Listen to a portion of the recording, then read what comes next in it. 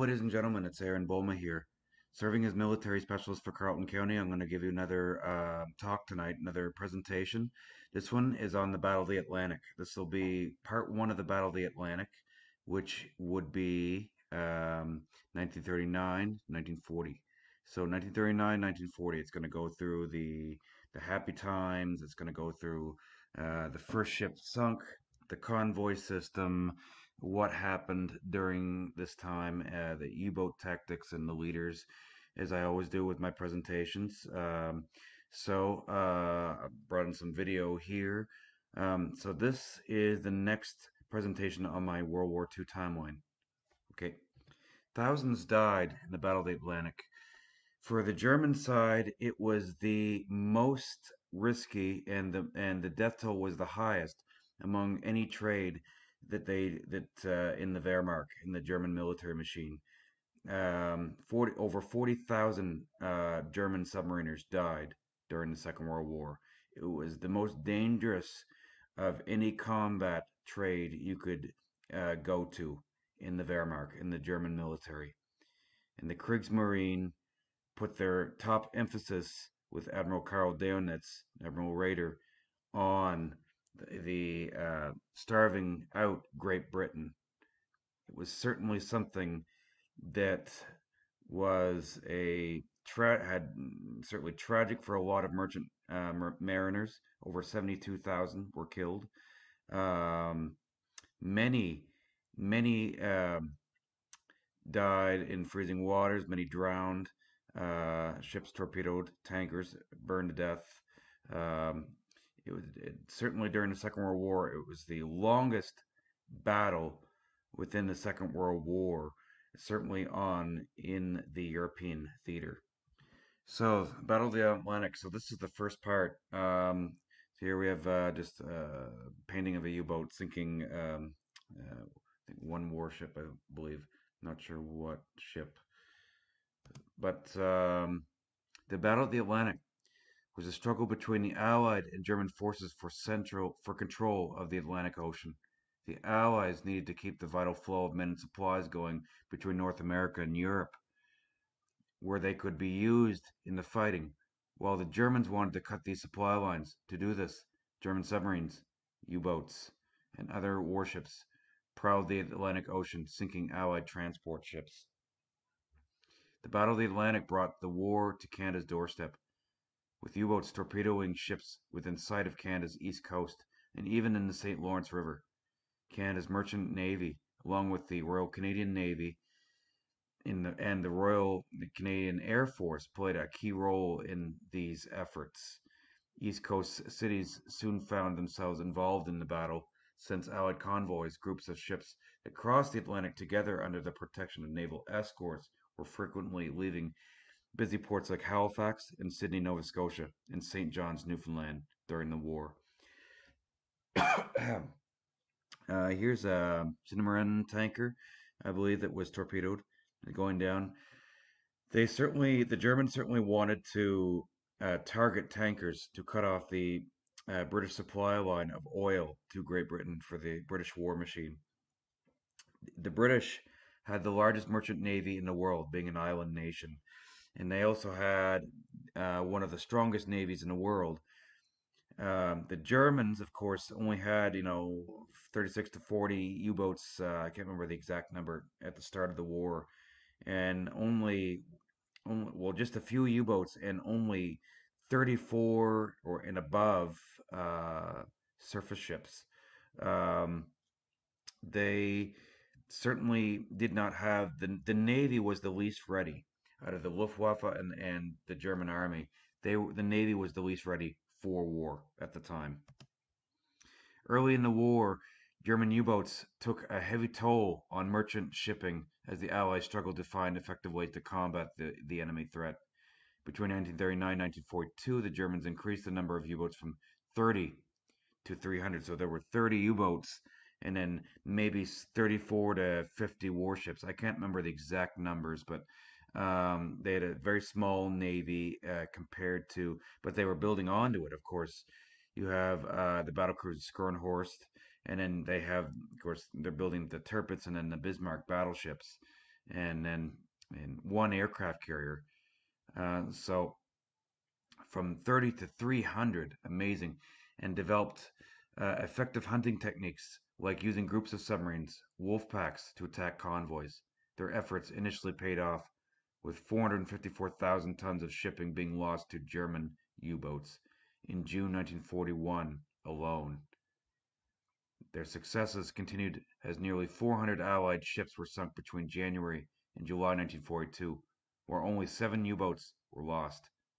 The situation was very serious for the Allies, as merchant ships were being sunk faster than they could be replaced, thereby putting the supply link between North America and Europe at incredible great risk.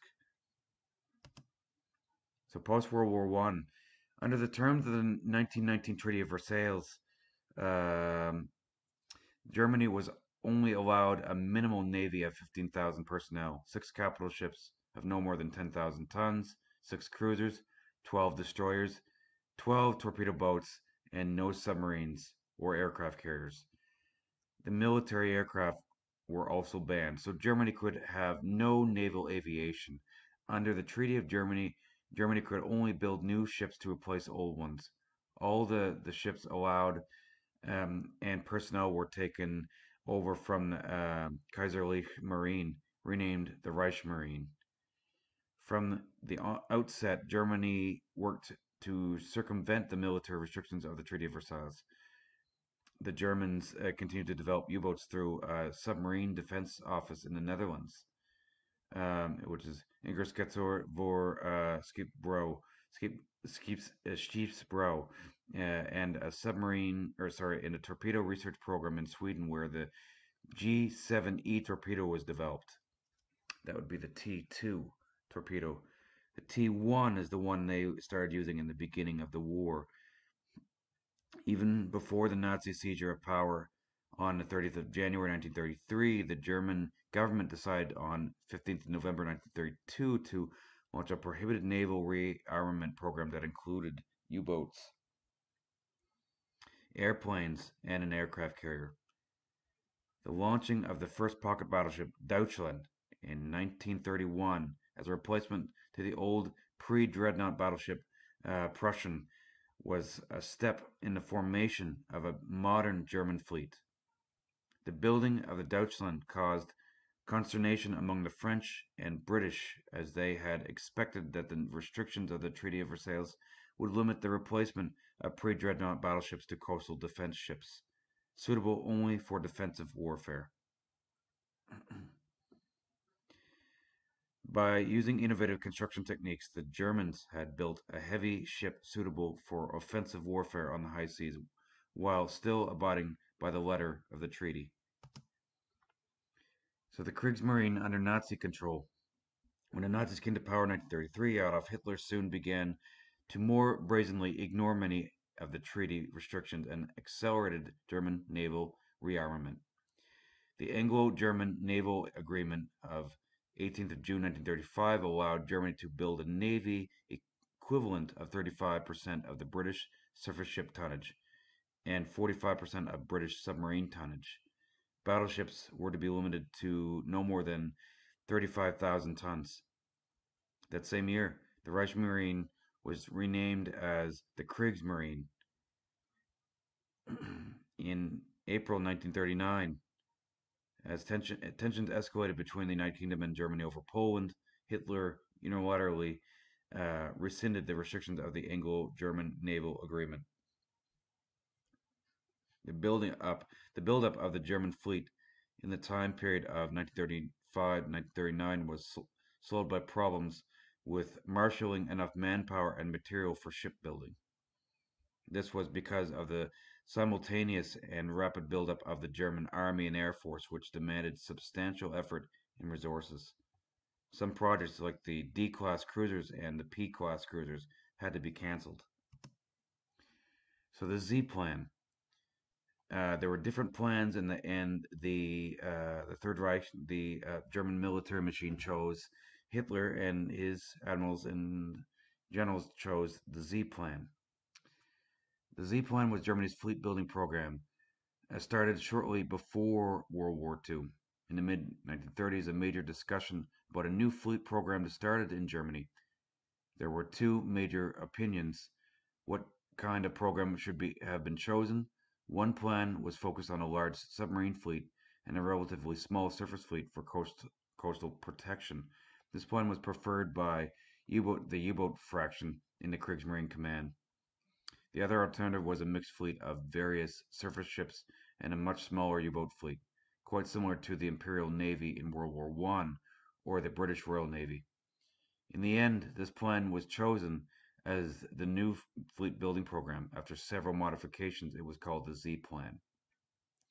According to this plan, the German Kriegsmarine uh, should have grown to about 800 units, consisting of 13 battleships and battle cruisers, four aircraft carriers, 15 Panzerschiffs, uh, Panzerschiff, 23 cruisers, and 22 so-called uh, which were basically large destroyers. Um, in addition uh, to this, smaller, many smaller vessels should have been built. Those ships should have been built between 1939 and 1946. Um, oh, in this time, the personnel, the personal, the personnel of the Kriegsmarine should have been enlarged to 201,000 men, and over 33 billion Reichsmark should have been spent on building the new units. This project never got to reality. It was very questionable that the German industry would have had the resources for such a construction pro program and that the other European nations would would stood still and not would stand still and not react to this program at all. The realization of the Z, Z plan started on January 29, 1939.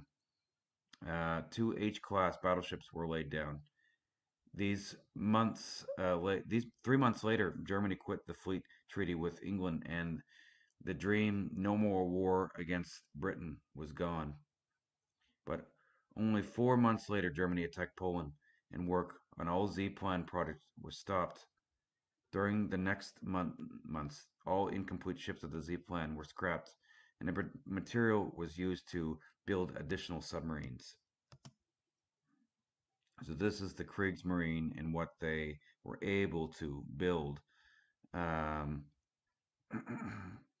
so the Hipper, Prinz Eugen, Deutschland, Scharnhorst, Bismarck, Nuremberg, Leipzig.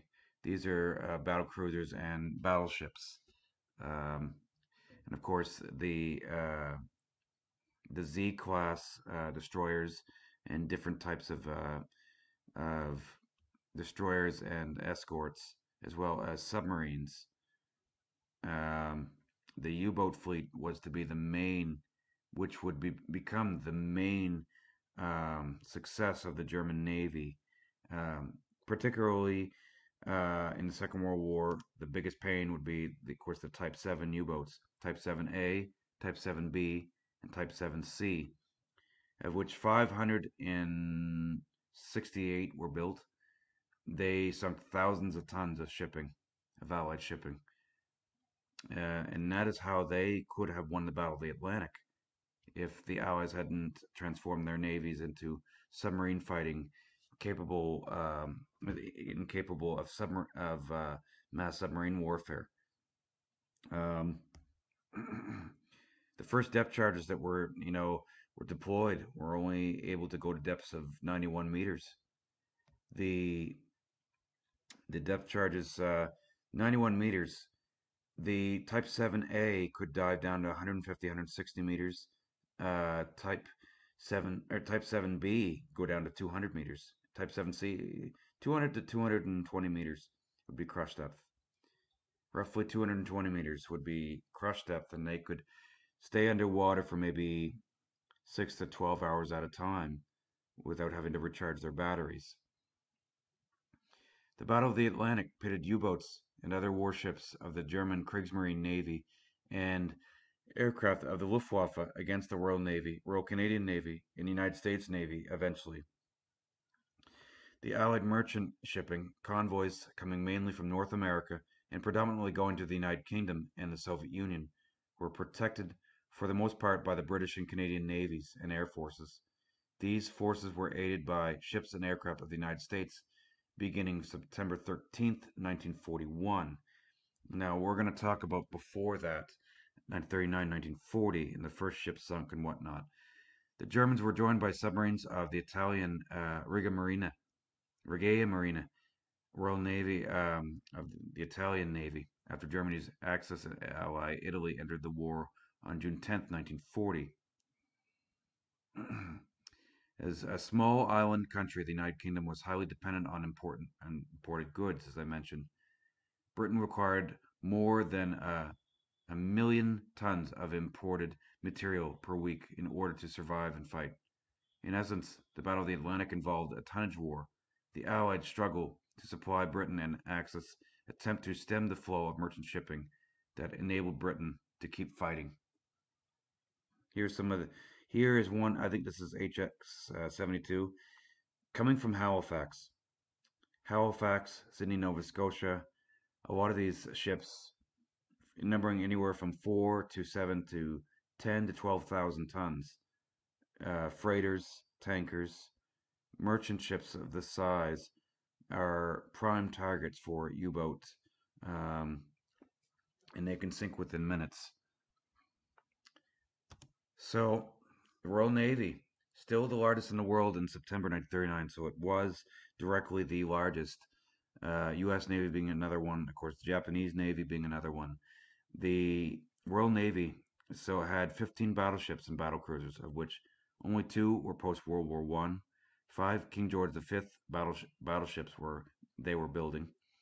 Seven aircraft carriers, 66 cruisers, mainly post World War One, with some older ships converted for AA, AA duties.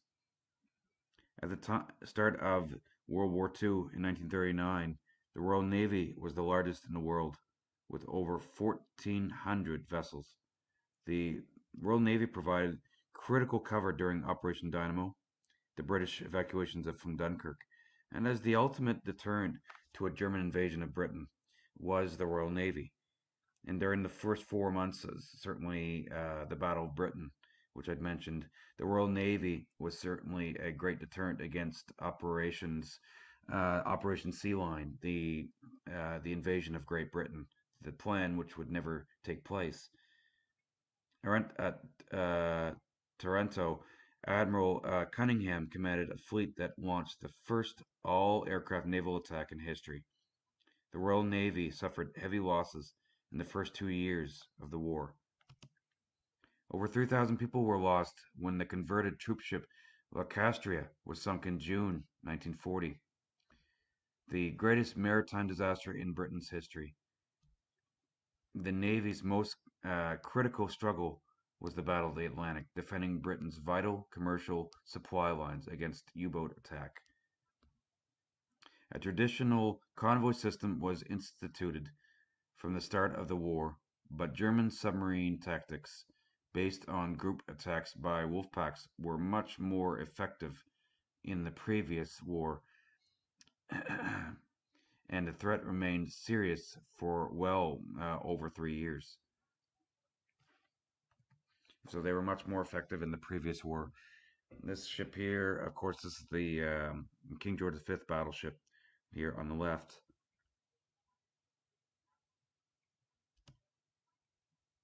Dudley Pound. Admiral of the fleet Sir Alfred Dudley Pickman Rogers Pound. That's a, quite a name.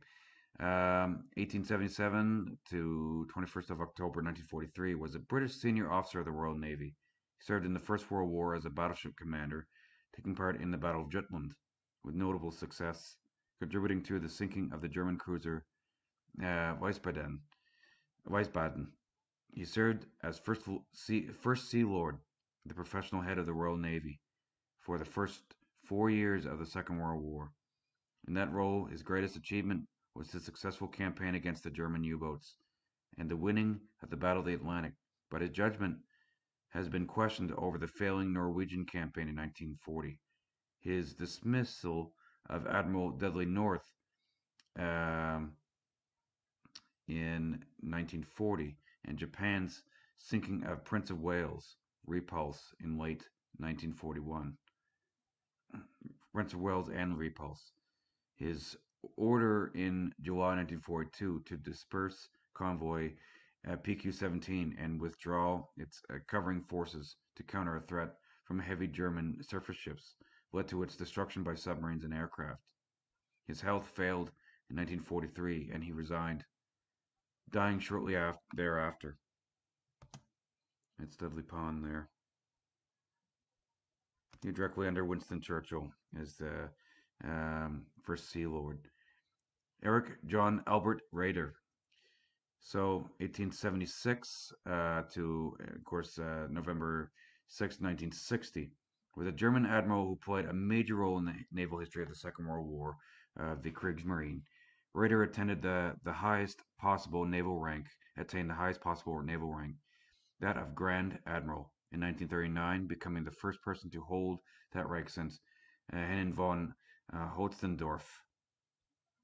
Raeder led the Kriegsmarine for the first half of the war. He resigned in January 1943 and was pro- uh, replaced by his um, his subordinate and uh, U-boat genius uh, Admiral Karl Dönitz.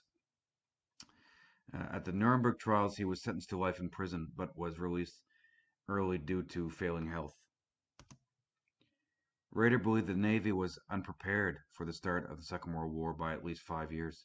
The surface fleet was inadequate to fight the Royal Navy, and instead ad- adopted a strategy of convoy raiding.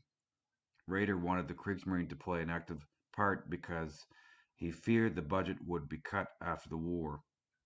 The smaller ships were uh, dispersed around the world in order to force the Royal Navy to disperse their ships to combat them, while the battleships would carry out raids in north in the North Sea with a view uh, towards gradually reducing the Royal Navy's strength at home.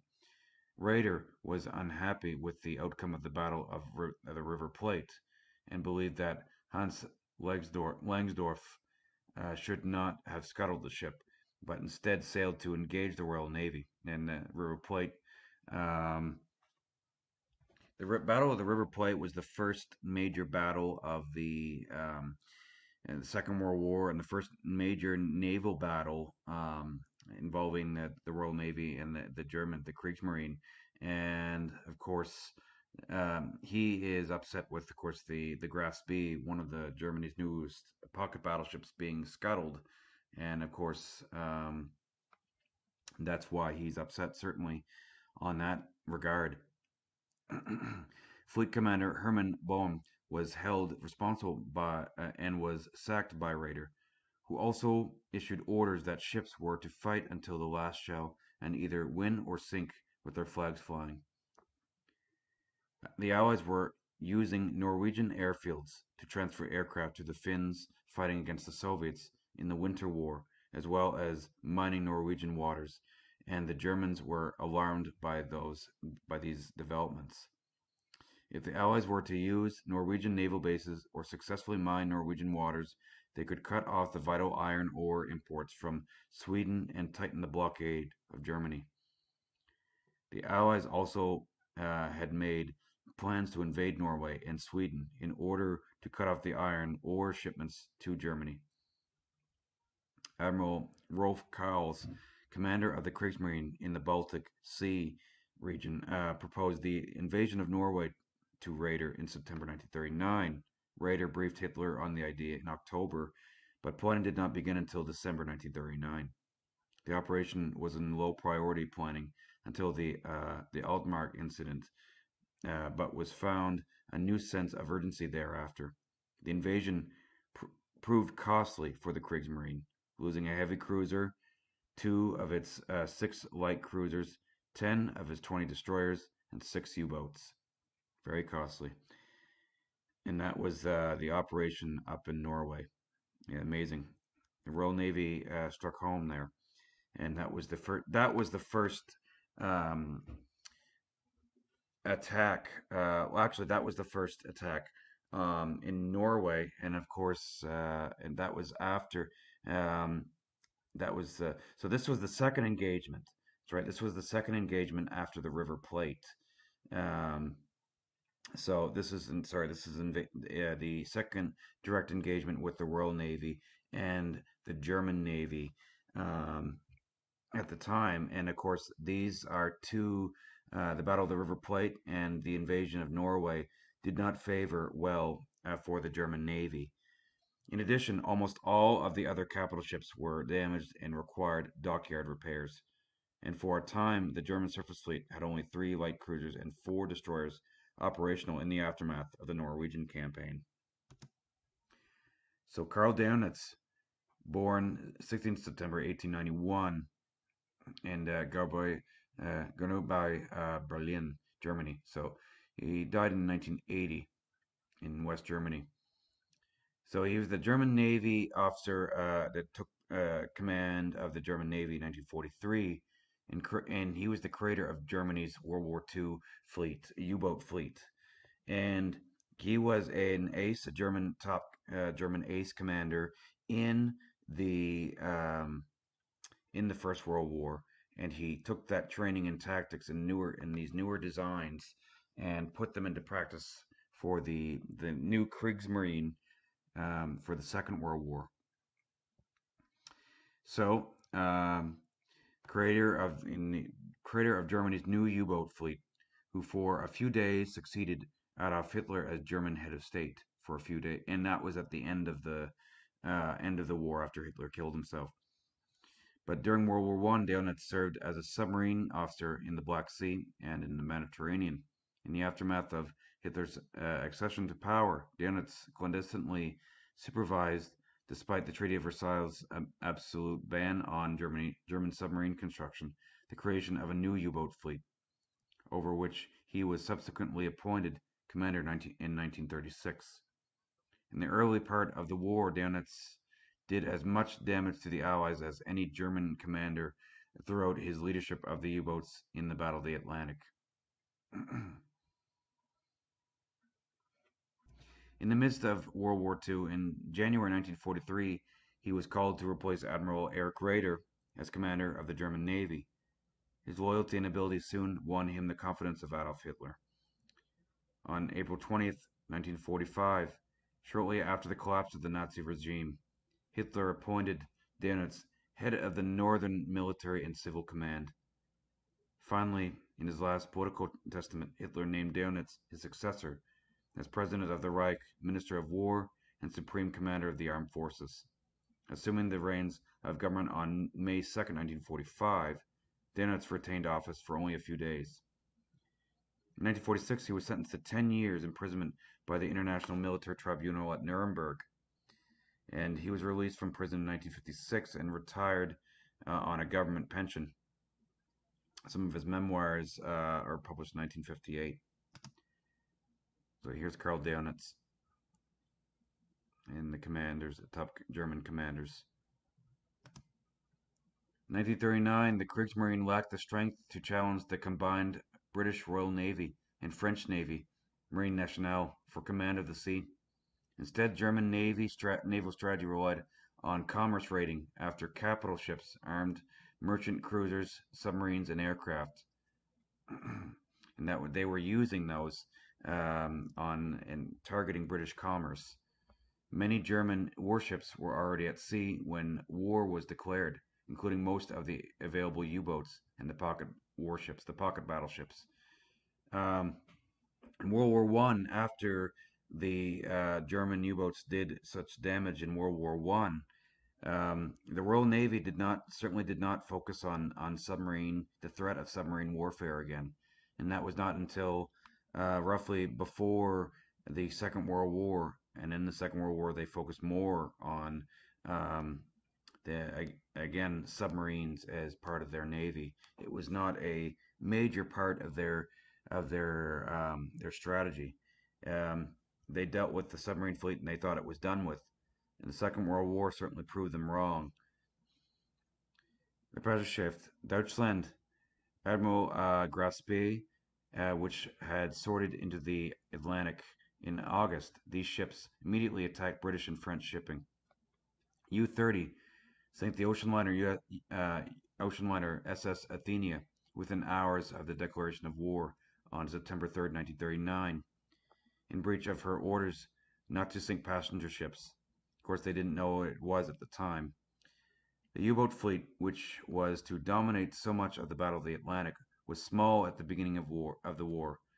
Many of the 57, so it was 57 U-boats. I, I didn't know the exact number, but 57, and so only uh, 34 or so um, capital or surface ships and 57 available U-boats were the um, were the small and short range uh, Type twos. The Type two had maybe three. Uh, they had uh, what uh, three internal torpedoes, um, two uh, torpedo tubes. Um, a sec. So it actually has. So I'm reading here. It has three torpedo tubes, 21 inch, and five torpedoes uh, included. And of course, um, uh, I had to look that one up. Um, my memory was not as good tonight. Uh, so anyway, they um, Type Two. Um, they had um, a number, of course, that they were they were short range, and they only had the ability to submerge for you know uh, seven to eight hours. They could go maybe at four to five knots, maybe six knots submerged maximum, and then they would uh, go roughly about 13 knots on the surface. Um, certainly, those were mainly uh, slow U-boats and uh, designed after the First World War, or First World War hand-me-downs, and um, they were useful primarily for mine laying and operations in British coastal waters. Much of the early German anti-shipping activity involved mine laying by destroyers, aircraft, and U-boats off British ports. So the Kriegsmarine saw uh, as her main tasks uh, for the controlling of the Baltic Sea and winning a war against France in the connection with the German army because France had seen was seen as the most likely enemy in the event of war. So these are the main tasks early in the war. Um, but in 1938, Hitler wanted to have the possibility of winning a war against Great Britain at sea in the coming years. Therefore, he ordered plans for such a fleet from the Kriegsmarine. Daunting. From the three proposed plans, X, Y, and Z, he approved Plan Z in January 1939. this blueprint, and so that was uh, roughly eight months before the war. This blueprint for the new German uh, naval construction program in, envisioned, uh, envisioned uh, building a navy of approximately 800 ships during the period of 1939-1947. Hitler demanded that the program was to be completed by 1945. The main force of Plan Z were six H-class battleships. In the version of Plan Z drawn up in 1939, the German fleet was planned to consist of the following ships by uh, 1945 four aircraft carriers, 10 battleships, uh, 12 battle cruisers, three armored ships, Panzerschiff, um, five heavy cruisers, 44 light cruisers, and 158 destroyers and torpedo boats, and 249 submarines. The only thing that they did, and numerous smaller craft, the only thing that they did uh, surpass in, a, in, this number there is the, the U-boats. They had produced over 700, 750 U-boats for the Battle of the Atlantic, and th these U-boats raked millions of tons of enemy shipping, right? The, the thousands of tons of shipping to the bottom, um, and certainly um, caused en enough trouble for the Allies that the Allies had to pick up um, without uh, Canada and the U.S. help, Great Britain would have had some major troubles on its own, maybe not have succeeded. And that, uh, even with the British Navy as strong as it was, personal strength was planned to rise over 200,000. The planning, uh, the planned naval program was not very far uh, advanced by the time uh, World War II began. So, not just more of the plan um, of the Z plan. So the strength of the German fleet at the beginning of the war was not even 20% of the plan. On September 1st, 1939, the Navy still had a total personnel strength of about 78,000. That's the size of Canada's army today is roughly uh, 73,000, give or take. and at and it was not uh, at all ready for a major role uh, in the war because of the long time uh, it would take to get this Plan Z fleet ready for action, the shortage in workers and material in wartime. Plan Z was essentially shelved in September 1939, and the resources allocated for, of course, as I mentioned, construction of U-boats, and uh, which would be ready for the war against the United Kingdom much quicker.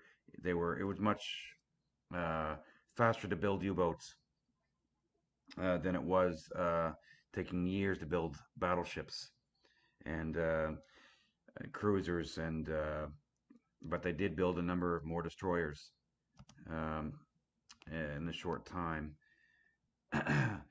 so the U-boat development. Japan was the first country to benefit from the expertise of German engineers working under the cover of a foreign company. In 1922, the Hague Bureau, Netherlands, uh, under the command of officers uh, Blum and Techel, received the mission to design new models, development of types um, UB3 and coastal UC3 for export. In 1926, Turkey and Finland in 1930, and later Spain purchased uh, officially these innovative Dutch subs. Um, Finland subsequently commanded two improved models of Type 2A uh, precursors. And these are coastal U-boats. Um, as I mentioned, uh, these are only, you know, 250 tons, 260 tons. Um, have a crew around three officers, 11 non-commissioned, and uh, 11 enlisted members. And these would be carrying the early G7A um, torpedo, which I will talk about later on, uh, the, the T1, what we call. Um, so by 1933, while the Treaty of Versailles uh, was contested, was contested, no for, formal program of submersible was has existed, not to cause a provocation.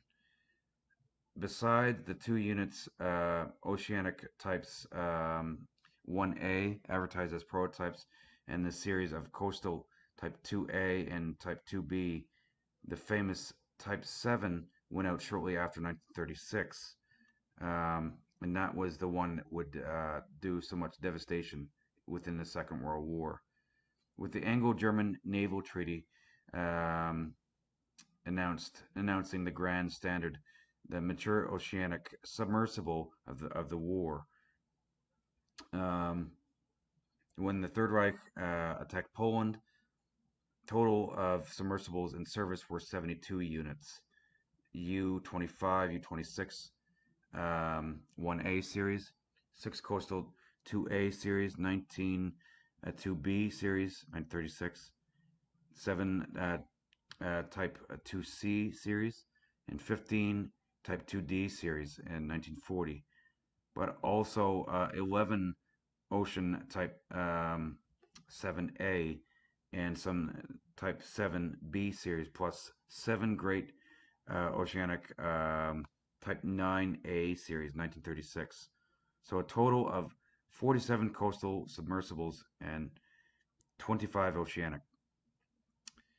Ocean submersibles conventional means uh, of type 7 uh, that would will become legendary, performing regular 30-day cruises in the Atlantic in packs, while the Im immense uh, Type 9 would extend the raids on the seven seas. And Type 9s were the extended range U-boats that would attack the coast, the east coast of Canada and the United States.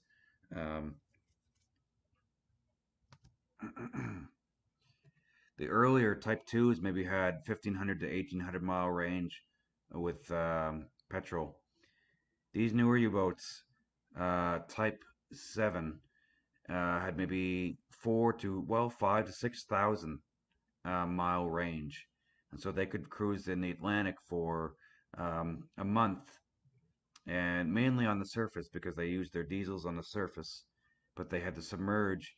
Uh, if they had to submerge, they could crash dive within a number of up to 30 seconds.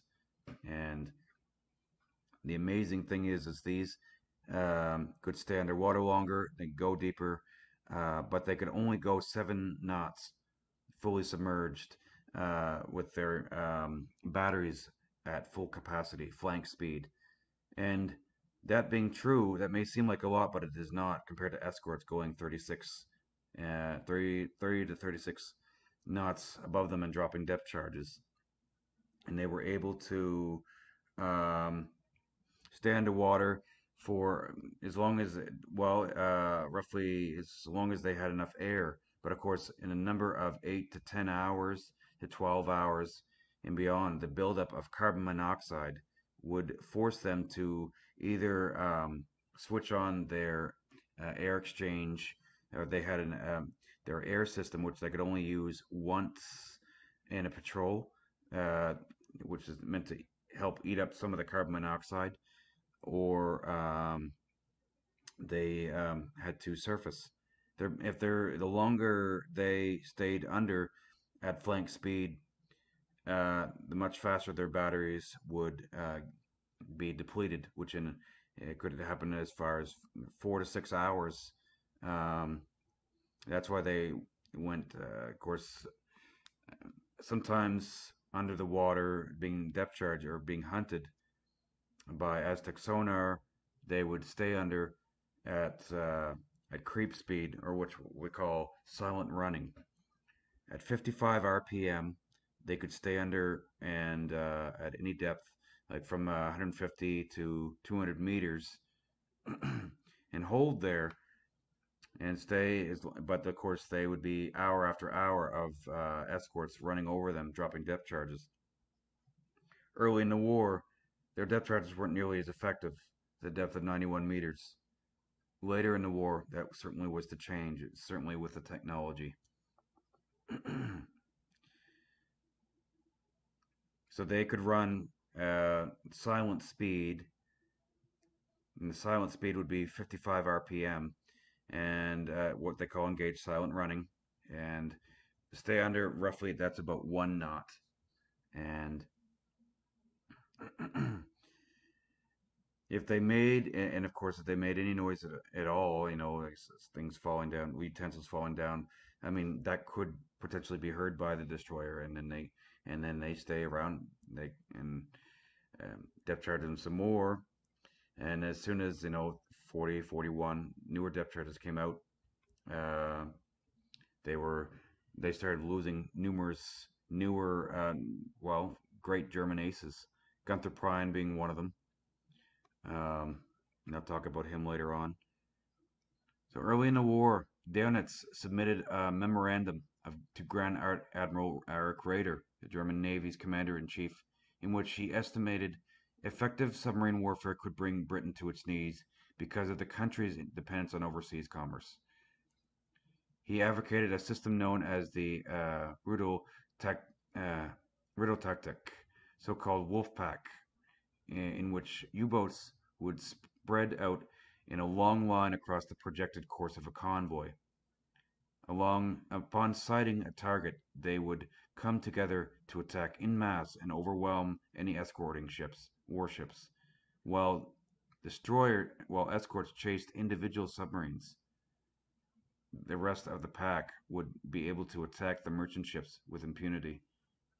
Dönitz calculated 300 uh, of the latest attack bo Atlantic boats, the Type 7 boats, would create enough havoc among Allied shipping that Britain would be knocked out of the war. And that's a Type 7 there. that's a Type 7B, I believe. The German occupation of Norway uh, in 1940, the rapid conquest of the Low Countries in France in May and June, and the Italian entry into the war on the Axis side in June transformed the, the war at sea in general and the Atlantic Campaign in particular in three main ways. Britain lost its biggest ally in 1940. The French Navy was the fourth largest in the world. Only a handful of French ships joined the Free uh, French forces and fought against Germany. Though these were later joined by a, few Canadian-built corvettes, Flower-class corvettes, with the French fleet removed from the campaign, the Royal Navy was stretched even further. Italy's declaration of war meant that Britain also had to reinforce the Mediterranean fleet and establish a new group at Gibraltar, known as Force H, to replace the French fleet in the western Mediterranean. The U-boats gained direct access to the Atlantic. Since the English Channel was relatively shallow and the, was particularly blocked uh, with um, par was partially blocked with minefields in, by mid 1940, U-boats were ordered to negotiate it and instead travel along around the British Isles to reach the most profitable spots to hunt ships. The German bases in France at Brest, Lorient, and La Pallice uh, near uh, La Rochelle, Rochelle uh, were about 450 miles, 720 kilometers closer to the Atlantic than the bases on the North Sea. And the bases, one of them being uh, Wilhelmshaven, uh, which they would, the German U-boats would have to uh, go across um, Denmark to get out into the North Sea and around Great Britain and the coastal, and they would attack coastal areas um, on the east side and the west side of Great Britain, and that's early in the war. This greatly improved the situation for U-boats in the Atlantic, enabling them to attack convoys further west and letting them spend longer time on patrol, doubting, uh, doubling the effective size of the U-boat force. The Germans later built a huge fortified concrete submarine pens for the U-boats in the French Atlantic bases, which were impervious to Allied bombing until mid-1944, when the Tallboy bomb became available. From early July, U-boats returned to the French um, to the new French bases when uh, they had completed their Atlantic patrols. British destroyers were diverted from the Atlantic. The Norwegian campaign and the German invasion of the Low Countries and France posed a heavy strain on the Royal Navy's destroyer flotillas. Many older de destroyers were withdrawn from convoys, convoy routes to support the Norwegian campaign in April and May, and then diverted to the English Channel to support the withdrawal from Dunkirk. By the summer of 1940, Britain faced a serious threat of invasion. Many destroyers were held in the Channel, ready to repel a German invasion. So here we have um, Wilhelmshaven and Kiel. So Wilhelmshaven, uh, so sorry, it was Kiel where I meant um, Wilhelmshaven is here. We can come out and circle around Great Britain. It was Kiel what I meant. Kiel is a top major German naval base. You'd have to go around Dunkirk. So, uh, and then you have Kristiansand, Øresund, and these are bases that are captured from Nor the invasion of Norway. Um, so Kiel, where they come around, and of course Wilhelmshaven, direct entry to the North Sea, and around uh, they go around England uh, by, via Shetland Island area and uh, continue down through into other areas. So these are some of the uh, so this is April 7th, April 9th, 1940, the invasion of Norway, again, as I mentioned before, uh, Weserübung Nord, uh, and that's the the fleet, the British Home Fleet's engagements and the German in engagements. Admiral Hipper, Glowworm, uh, Gneisenau, Scharnhorst, and versus Renown, and yep. So U-30 she was ordered in April 1935 um, in violation of the Treaty of Versailles, which prevented the construction and commissioning of any U-boats in the German Navy for the German Navy, and as part of the German naval rearmament program known as Plan Z. She sank the liner SS Athenia on 3rd of September 1939 under the command of Fritz Julius Lemp. Um, she was retired from frontline service in September 1940 after undertaking eight war patrols, having sunk 17 vessels and damaging two others. U-30 then served in a training role until the end of the war when she was scuttled. She was later raised and broken up for scrap in 1948. So this was a Type uh, 7A.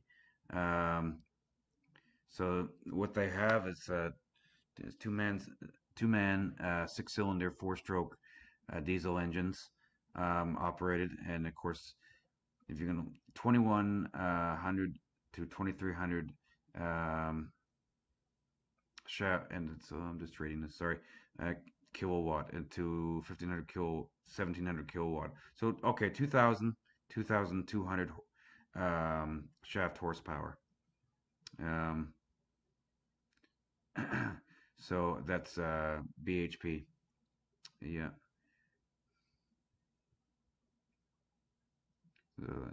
As well as two brown uh, Bavarian.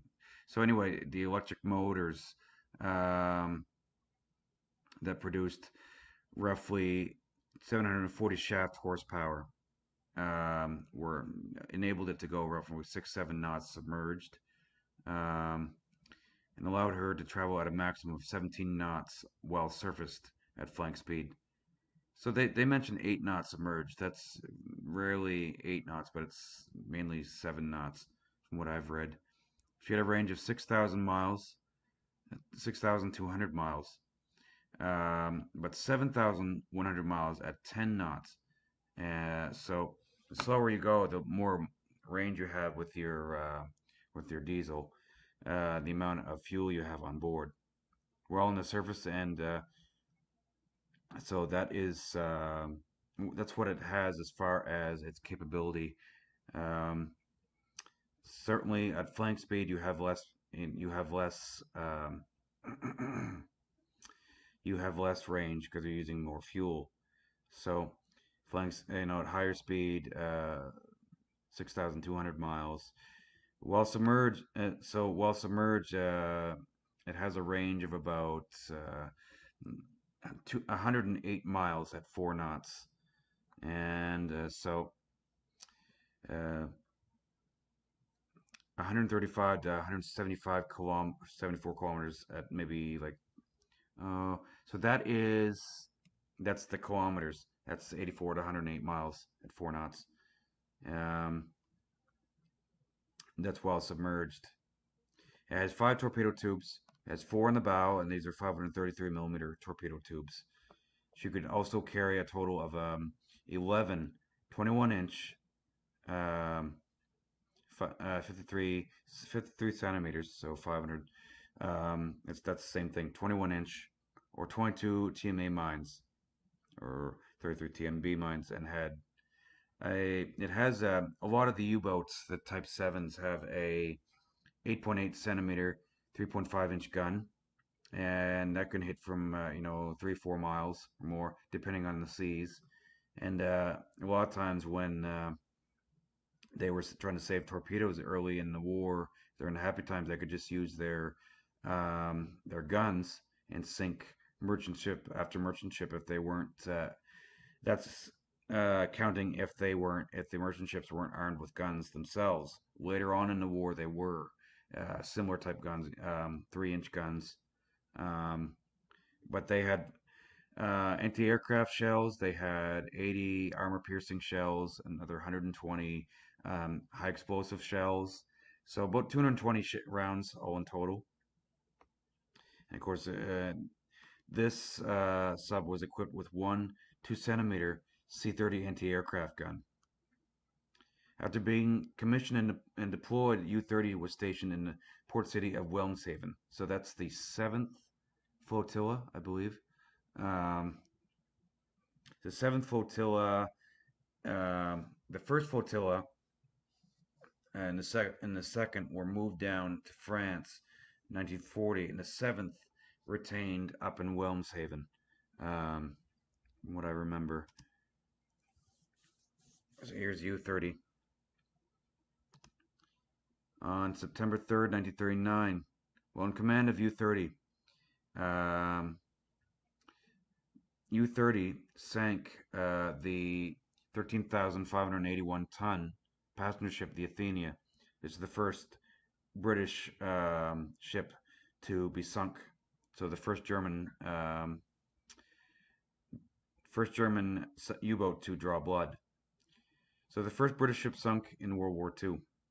Commander Lemp uh, later claimed that uh, the fact that she was steering a zigzag course and seemed to be well off the normal shipping routes made him believe that she was either a troop ship or an armed merchant cruiser.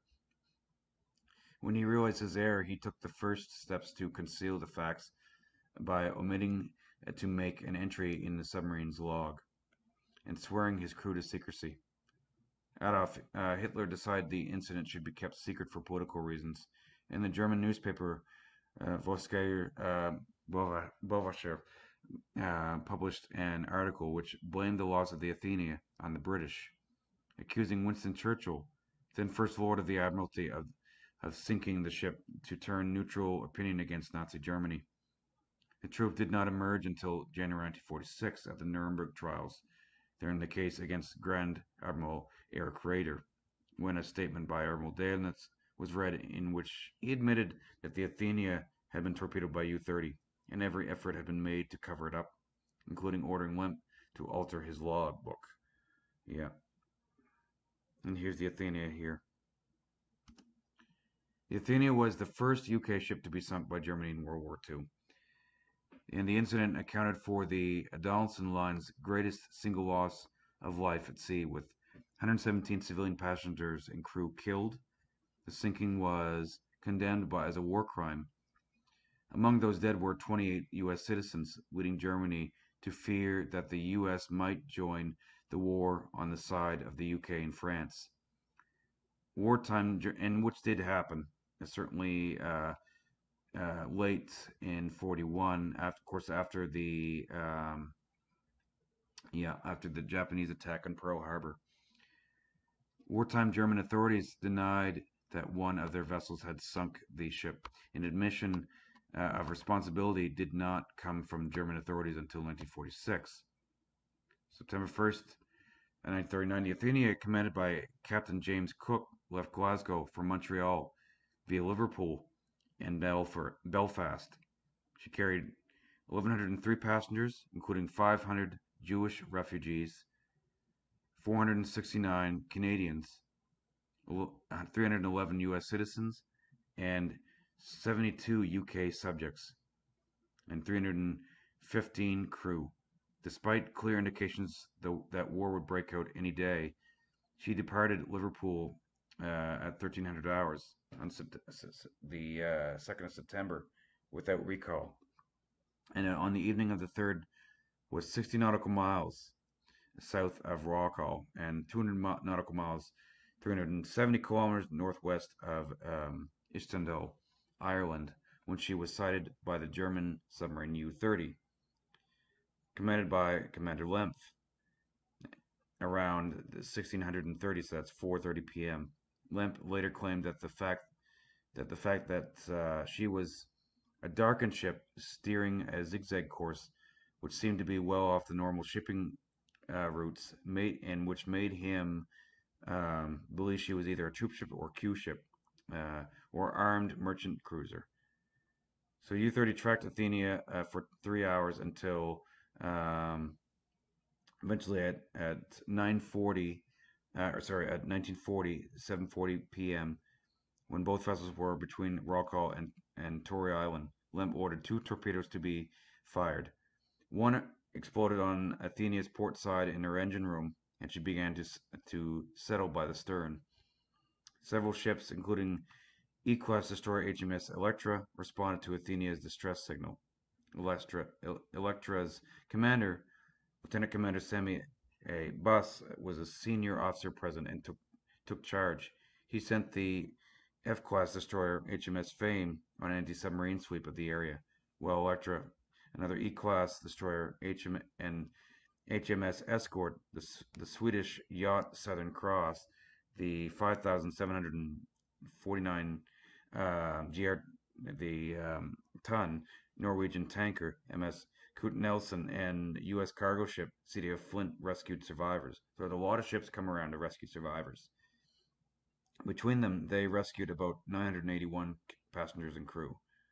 The German liner SS Bremen, en route from New York to Murmansk, also received Athenia's distress signal, but ignored it City of Flint took 223 survivors at, to Pier 21 at Halifax, and Nelson landed 450 at Galway. Amazing. Athenia remained afloat for more than 14 hours until she finally sank stern first at uh, 01040 the next morning. of the 1,418 aboard, 98 passengers and 19 crew members were killed. Many died in the engine room and aft stairwell where the torpedo hit, and uh, water flooded in very quickly uh, from the, the aft bulkhead area. Um, the British crews were famous uh, for putting the passengers' lives before their own and were expertly trained to handle such events. Nonetheless, 50 people died when one of the lifeboats was crushed in the propeller of the of the Knute Nelson, which is one of the ships that was trying to save them. Um, so here is another great picture of the the ship. That's a 13,000 ton GRT ship. That's a, a large kill for a uh, U-boat, young U-boat commander.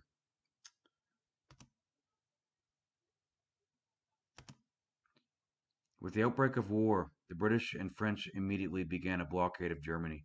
Although this had little immediate effect on German industry, the Royal Navy quickly introduced a convoy system for the protection of trade uh, that gradually extended out from the British Isles, eventually reaching as far as Panama, Bombay, and Singapore.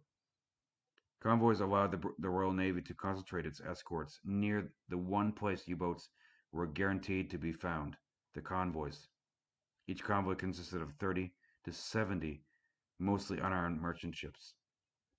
From the U.S. perspective, the struggle moved through three phases. When the war began in, in Europe, the United States maintained neutrality while also increasing the readiness of its fleet. After signing the two ocean navy uh, legislation in the summer of 1940, Princeton, uh, sorry, President Franklin Roosevelt, FDR, next pushed to assist Great Britain, which was the Lend-Lease Agreement. They gave a number of uh, old ex-World War One destroyers to the British Navy in August 1940, he arranged a loan of older destroyers in exchange for the use of British bases in the Western Hemisphere. The following March, he secured a passage uh, of the Lend-Lease Act to enable a cash-starved Britain to receive equipment and supplies and then pay for them later. Here's one of the early depth charges uh, on the um, one of these is one of the side launch um, limbo launchers that were on the side of the destroyers, and they would uh, most of them of the depth charges were launched on the back racks of the ships uh, and launched two at a time into the sea.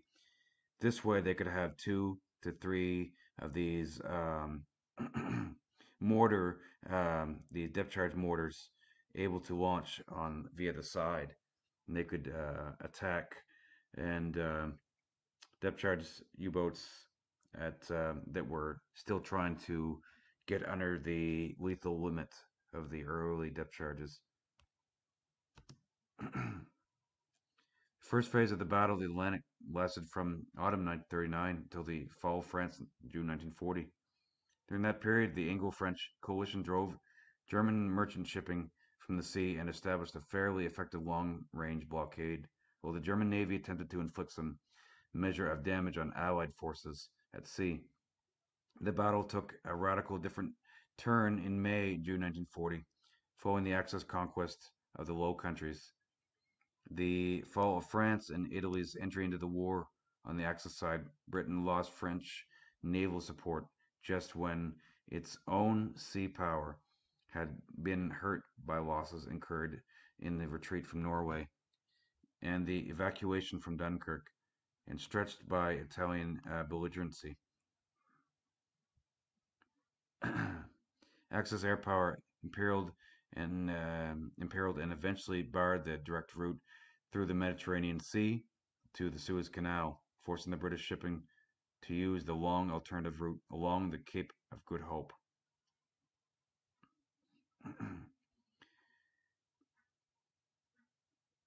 that cut the total car cargo cargo carrying capacity of the British merchant marine almost in half at the very moment when German acquisition of naval and air bases on the Atlantic coast foreshadowed more destructive attacks on shipping in northern waters. From the German perspective, With the conquest of Western Europe complete, knocking out Britain, knocking Britain out of the war by attacking its trade seemed unmanageable effective. Beginning in the autumn of 1940, during the happy times, and what they call the U-boat happy times, the first happy times, German U-boat submarine attacks were dramatically successful. And over the winter, Germany also sent out its major surface warships and air power. Some British naval officers, particularly the First Lord of the Admiralty, Winston Churchill, fought, sought a more um, offensive strategy. The Royal Navy formed anti-submarine